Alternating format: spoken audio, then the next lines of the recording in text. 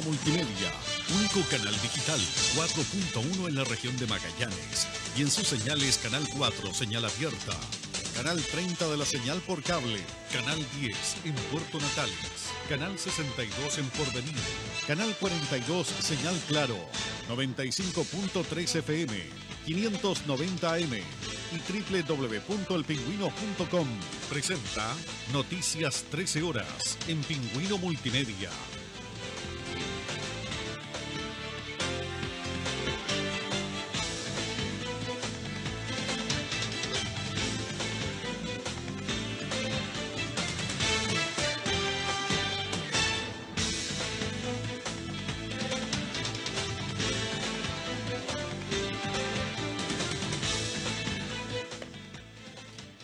¿Cómo están? Buenas tardes, gusto saludarles, bienvenidos. Le damos nuestro abrazo para ustedes, nuestros saludos desde la segunda edición de Noticias en este día 11 de enero. Segunda edición de Noticias este día martes. Nos vamos a informar, nos vamos a informar de todo lo que ha acontecido. No hay buenas noticias con los casos de COVID. Upalí, ya se lo vamos a contar también. Eh, temperatura bastante agradable en comparación de la mañana que estaba muy fría. 10 grados a esta hora, humedad del 54%, viento de 56 kilómetros a la hora dirección oeste, buena visibilidad, pocas nubes. La máxima hoy día 13, no más que eso, 13 ¿ah? grados. Y el viento que se va a mantener prácticamente durante toda la jornada y con probabilidad de precipitaciones durante la noche, tarde-noche. ¿Ya? Eso es el informe del tiempo. Comenzamos las noticias a esta hora en Pingüino Radio. Estos son los titulares. Continúa el alza de contagios en Magallanes, donde este martes los casos activos superaron los 800. Dos viviendas resultaron destruidas la noche de ayer en la población Santos Mardones, donde un voluntario de bomberos resultó lesionado. Y conozca a los estudiantes magallánicos que obtuvieron puntajes regionales y nacionales en la prueba de transición universitaria. Escuchas el informativo más completo de la región de Magallanes a través del noticiero de Pingüino Radio.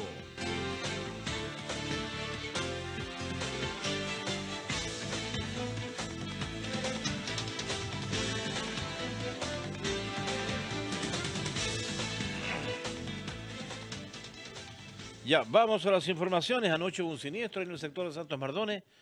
Casi tres casas afectadas. ¿eh? Se dio alarma de incendio por parte de bomberos. Juan Carlos Álvarez estuvo allí. ¿Cómo está? Buenas tardes. Hola, Juanquito, ¿cómo está? Buenas tardes, gusto saludarte. Sí, como tú bien dices, ¿verdad? El, día de ayer, cerca de las 22 horas, eh, la central de cuerpo de bomberos eh, despachó tres unidades, primeramente hasta el sector de Pasaje Millaray, esto que es la población Santo Mardones, donde se mantenía fuego en la vivienda, ¿verdad? Ubicada en el lugar. Rápidamente esta, esta vivienda que comenzó el incendio se propagó a la vivienda colindante, también dejando daños casi totales en estas dos viviendas. Y una tercera vivienda por el pasaje exterior de este lugar. Eh, se dio alarma de incendio en donde concurrieron al menos eh, seis compañías del cuerpo de bomberos hasta el lugar. Eh, trabajaron para poder controlar la situación porque está difícil, difícil por el, por el fuego que tenía la vivienda que comenzó el incendio y la segunda vivienda y también por el viento que reinaba durante la, la tarde noche del día de ayer.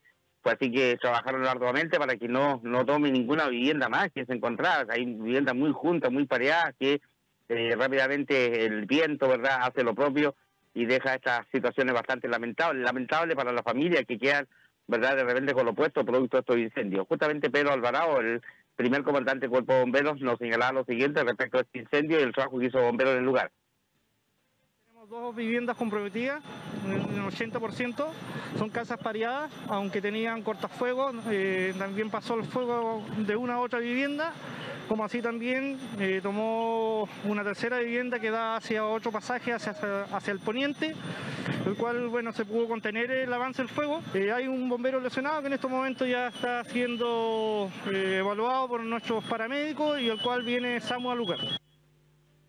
Ahí estaba el primer comandante, don Pedro Alvarado, respecto al trabajo del cuerpo de bomberos en el lugar. Alarma incendio, dos viviendas eh, destruidas, eh, casi en un 80%, y la tercera vivienda también con daño producto de este siniestro que afectó a esta familia de ahí de la población Santos Mardones. Pasaje Villaray, para ser más exacto. Y señalar que, bueno, la, nuestra colega Alejandra Vera estuvo durante la mañana del día de hoy en el lugar para ver la situación de los damnificados, justamente, y ahí el joven explicaba, ¿verdad?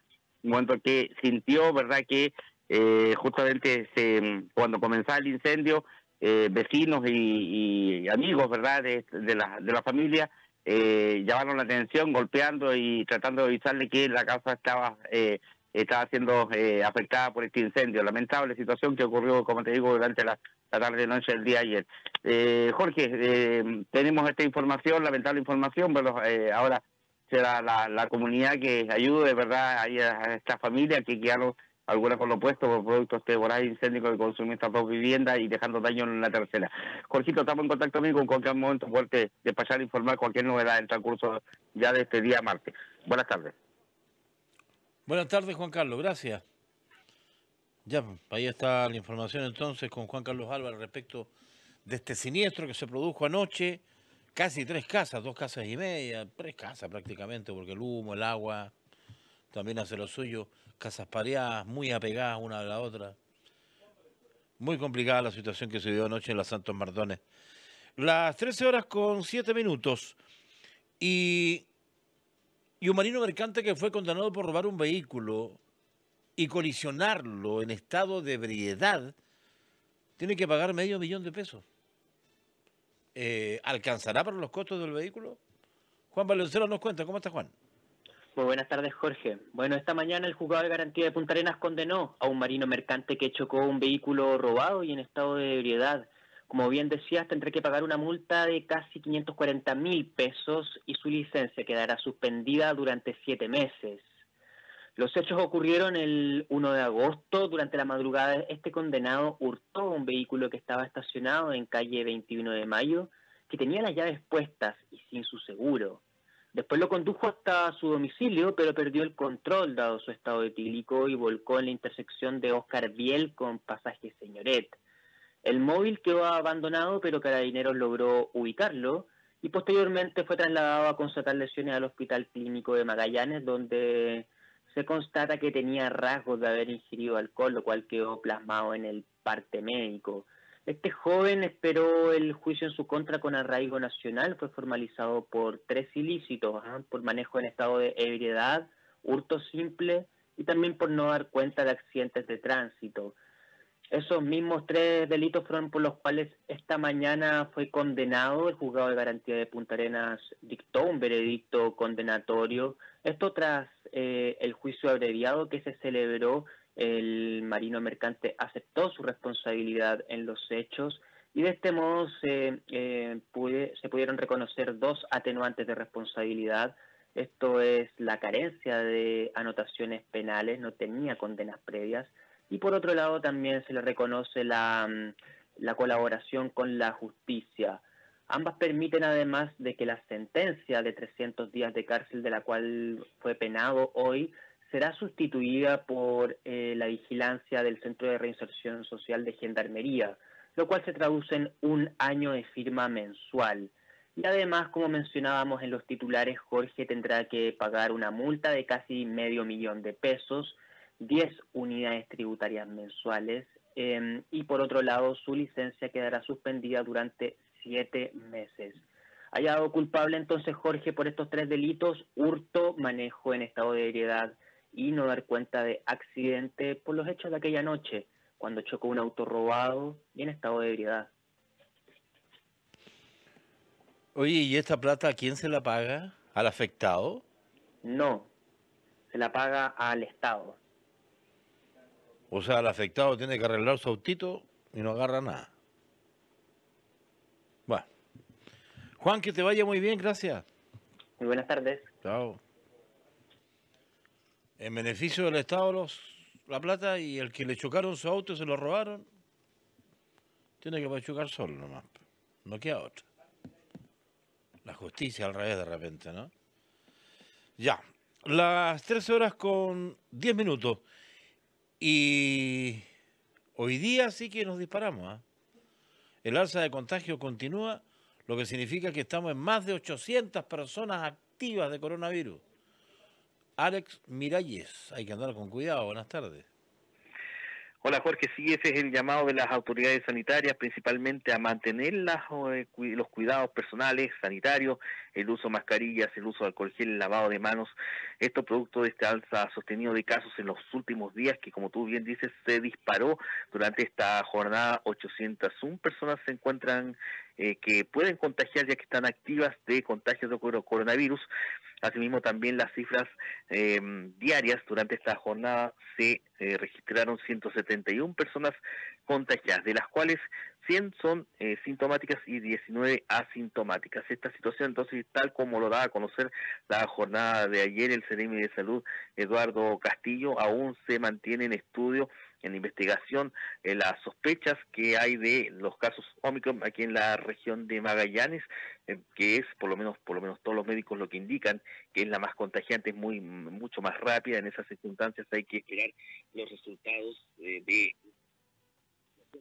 la CNM de Salud y todas las muestras que ya se enviaron a Santiago a la espera todavía de poder ya determinar si es esta variante es la que está ocasionando esta gran cantidad de contagios en la región de Magallanes, que hasta ahora eh, fallecidos por lo menos se mantiene la cifra en 509, pero como indicábamos entonces las cifras son bastante altas y mm, como indicaba entonces la situación de el, el autocuidado es lo principal, el llamado a la vacunación eh, y todas las medidas ya que se conocen, ya van dos años ya de pandemia en las cuales todos los días se dicen cuáles son las medidas sanitarias que hay que tomar y resguardo, principalmente producto de la normalidad que se había tomado entonces ahí obviamente un poco de relajo por parte de la comunidad. Ante eso entonces se llama a extremar entonces y retomar estas medidas de eh, autocuidado que son como indicamos el uso de mascarilla el distanciamiento físico y también el uso del alcohol gel y también el lavado de manos que es para evitar entonces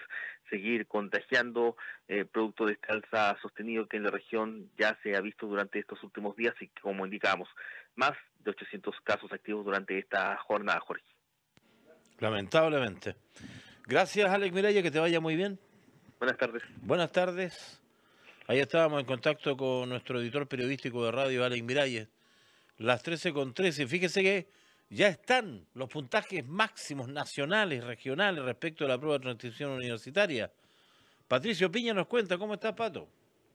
Hola, ¿qué tal Jorge? Así es, muy buenas noticias tenemos para Magallanes, porque son dos puntajes los nacionales, digamos, ya hemos conversado acá en el Pingüino y próximamente vamos a tener en el diario digital estas entrevistas, también están en la web también de El Pingüino, vía streaming, y en ese sentido, por ejemplo, eh, conversamos con Fabiola Flíes, quien fue puntaje nacional con 850 puntos de matemáticas.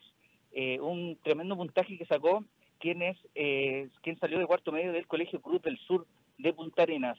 Ella quiere estudiar ciencias políticas, nos comentaba aquello, es hija del gobernador Jorge Frías también, venimos de, allá, de su casa, nos recibió allá, así que conversamos con ella y también para la sorpresa de muchos, eh, lo que ella quiere estudiar no es medicina y también ciencias políticas, como le decía, anteriormente.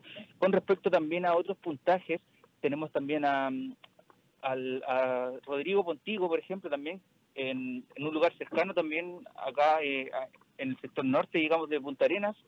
Él quiere estudiar eh, medicina, obtuvo, digamos, puntaje nacional también en matemáticas, 850 puntos, y le gustaría estudiar acá. Él se va a quedar acá en la región, eso es lo que planea, estudiar en Magallanes, eh, está cómodo acá y eh, no le gustaría irse a Santiago. Es el único al que no le gustaría irse para Santiago.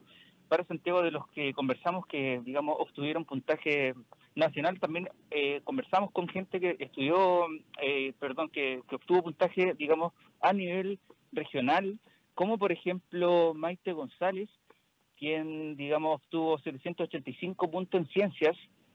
Ella es salió del, de cuarto medio del Colegio Británico y eh, también estuvimos en su nos comentaba también que, se preparó muchísimo desde el primer mes hasta, hasta ahora para obtener, digamos, este puntaje que también en matemáticas le fue muy bien, un puntaje parecido a los 785 puntos, que quiere estudiar medicina también en la Universidad de Chile. En el caso, volviendo anteriormente a lo que nos decía, por ejemplo, Fabiola Flies, ella quiere estudiar en la Católica, el tema también de ciencias políticas.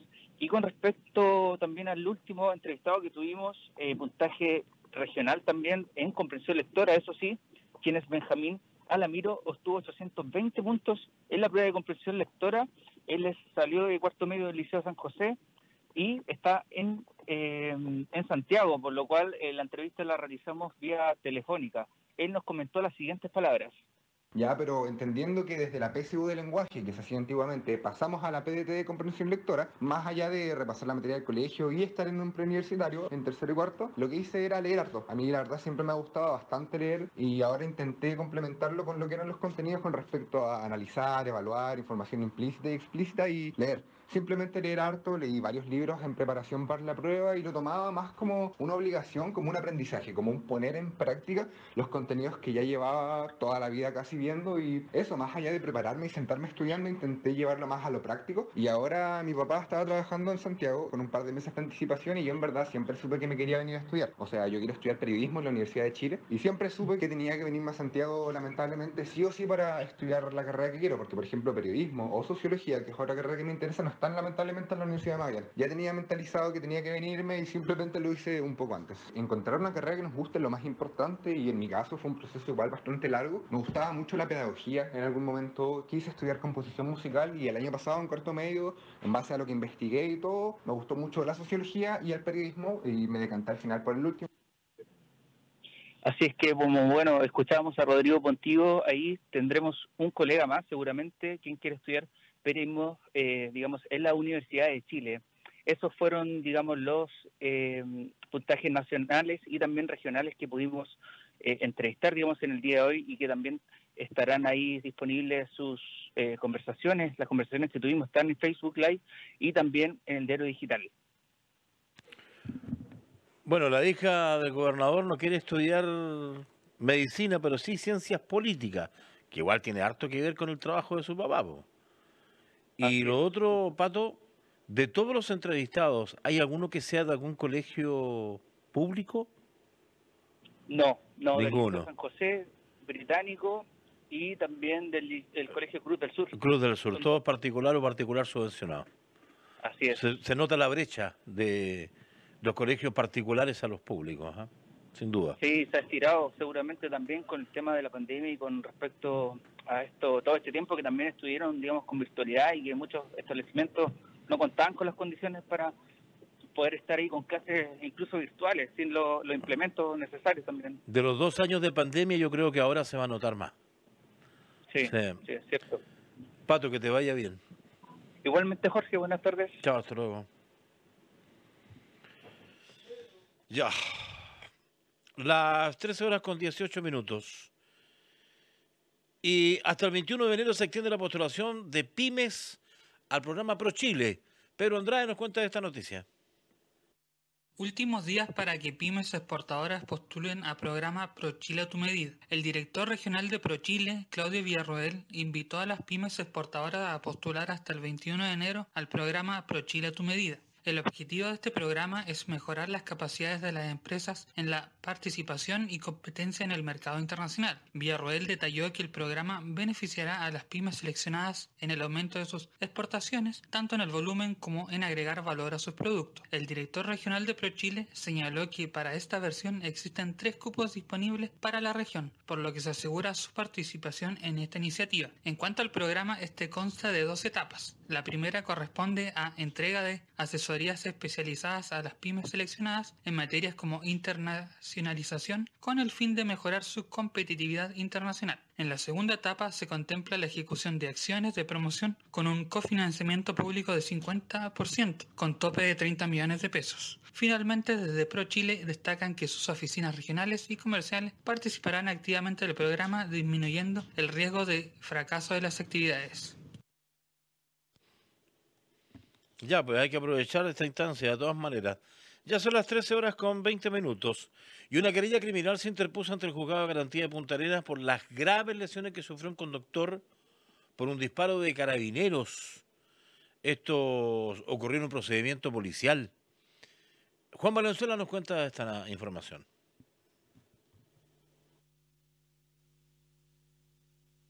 Hace casi 30 meses, un joven que tenía 18 años de edad quedó en riesgo vital tras recibir dos impactos de bala en un operativo policial. El Ministerio Público inició una investigación que sigue en curso y el jueves pasado se declaró admisible una querella interpuesta por el Instituto Nacional de Derechos Humanos. La acción interpuesta devela los resultados del informe balístico que hizo la PDI. Según las pericias, los carabineros percutieron un total de siete disparos, seis de ellos fueron de frente y hacia el interior del vehículo. Los hechos ocurren el 28 de julio del 2019, en la costanera de Punta Arenas. La víctima se encontraba en un vehículo junto a tres amigos en el sector de las canchas de básquetbol. En horas de la madrugada, una patrulla policial con cuatro funcionarios fue a fiscalizarlos. Ordenaron a los cuatro bajar del móvil y habrían permitido que los acompañantes del conductor se fuesen. Ya solos con la víctima, le pidieron que exhibiese los documentos del vehículo, pero el joven decidió subirse al carro y huir del lugar. Los funcionarios percutieron siete disparos. Una de las balas concluyó en la mano de la víctima, mientras que la otra se alojó en su hígado. Ingresó en riesgo vital al hospital y estuvo hospitalizado durante dos meses para después someterse a rehabilitación a nivel motor y de voz. El laboratorio de criminalística de la PDI perició el sitio del suceso por instrucción fiscal. A partir del examen de las vainillas recogidas, seis disparos se efectuaron desde la zona delantera hacia el interior del vehículo. La otra munición se percutió desde el costado, a la altura de la puerta del conductor. El informe también revela que los disparos fueron percutidos por dos pistolas, una de un teniente de la CIP de Carabineros, mientras que la otra de un cabo primero. Carabineros tiene una versión distinta de los hechos.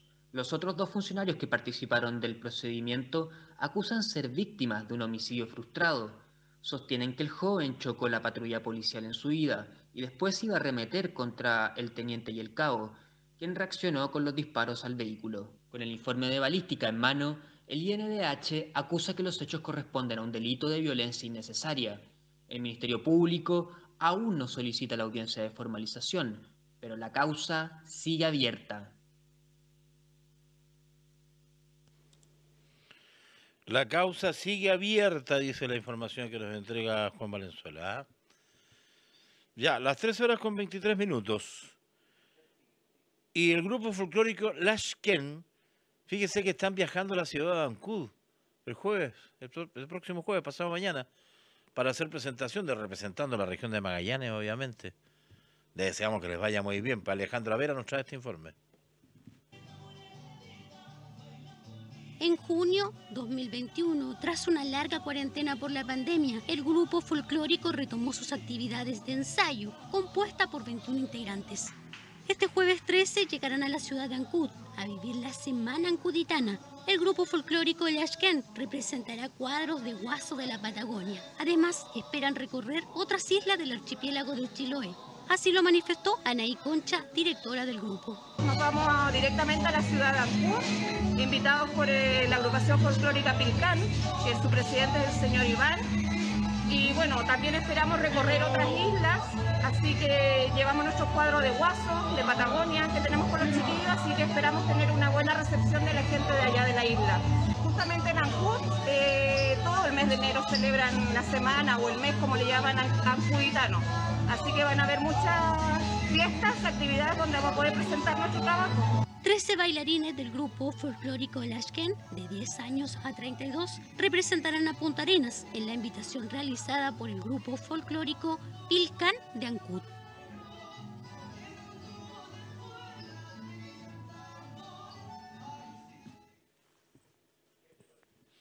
Bien, pues. Que les vaya bien a Lashken, allá en Ancud. 13 em, con 24. Y fíjese que la Municipalidad de Punta Arenas lanzó una aplicación móvil para que usted pueda realizar los pagos. Eh, como decía la policía antiguamente, pero ni me moví en mi escritorio. Hay que pagar igual nomás. Alex Miraya nos cuenta. Hace pocos días la Municipalidad de Punta Arenas lanzó una nueva aplicación móvil para obtener esta aplicación solo se debe descargar de manera gratuita, la cual se encuentra con el nombre de App Parenas, y así los puntarenenses podrán ver temas de servicios, temas de intereses municipales, en donde además pueden descargar de manera gratuita la tarjeta de Puntarenas. El edil de la capital de la región de Magallanes invitó a la comunidad a obtener la aplicación, anunciando que lo más importante de esto es que en el mes de febrero existirán tres pagos en línea. Queremos invitarte, invitarlos que lo hagan directamente de su teléfono celular mucho más rápido, mucho más expedito, mucho más cómodo, para qué perder tiempo finalmente. Y vamos a tener los puntos presenciales, pero la idea es que no, es que no gastemos tiempo en eso. Estos tres suman casi el 90% de las gestiones que hacen los vecinos a la municipalidad. Pero también tenemos DOM Digital, la dirección de obras. Esto ya lo está funcionando de hace bastante tiempo eh, con éxito, entonces tú vas a Don Digital, ahí está con todos los requerimientos, pedidos de certificado que uno tiene que hacer. ¿No es cierto? Que te va y, te va directamente al... Esto se carga lento, como lo habíamos señalado. La oficina vecino, que ojo ahí, pues vamos, vamos a comenzar ya con formularios, sobre todo con el derecho de aseo, que lo vamos a conversar durante las próximas horas, donde lo van a hacer directamente pinchando acá. Trámites. Licencia conducir, papel y la hora, ¿no es cierto?, que son tan importantes, renovación de patente de alcoholes, solicitud de personas jurídicas, sin necesidad de tener que ir a la municipalidad. El alcalde de Punta Arenas, Claudio Radonich, resaltó la importancia de esta aplicación debido al alto uso de los aparatos móviles en la ciudadanía y producto de la pandemia también se evita ir de manera presencial a los lugares de pago.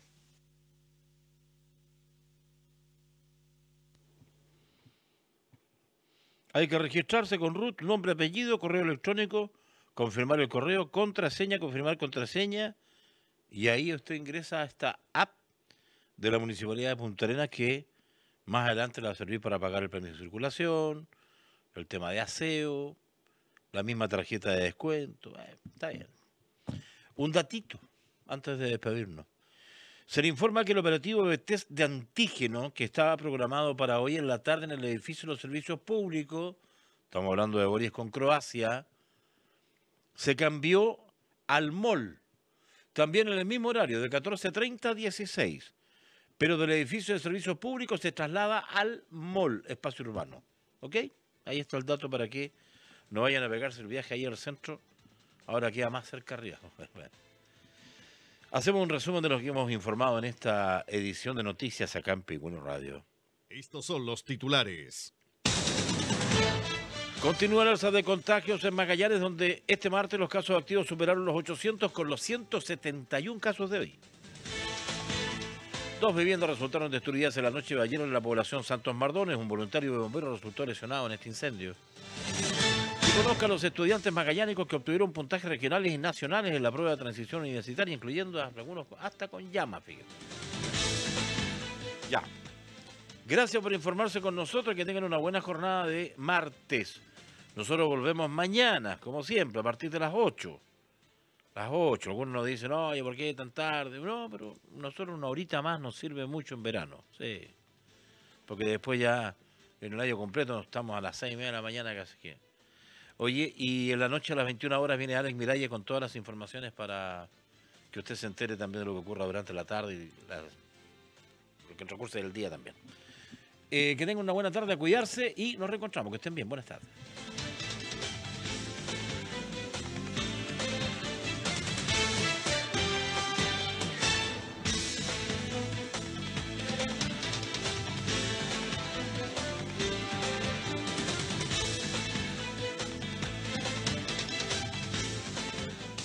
Multimedia, único canal digital 4.1 en la región de Magallanes. Y en sus señales Canal 4, señal abierta, Canal 30 de la señal por cable, Canal 10 en Puerto Natales, Canal 62 en Porvenir, Canal 42 señal claro, 95.3 FM, 590 AM y www.elpingüino.com presentaron Noticias 13 horas en Pingüino Multimedia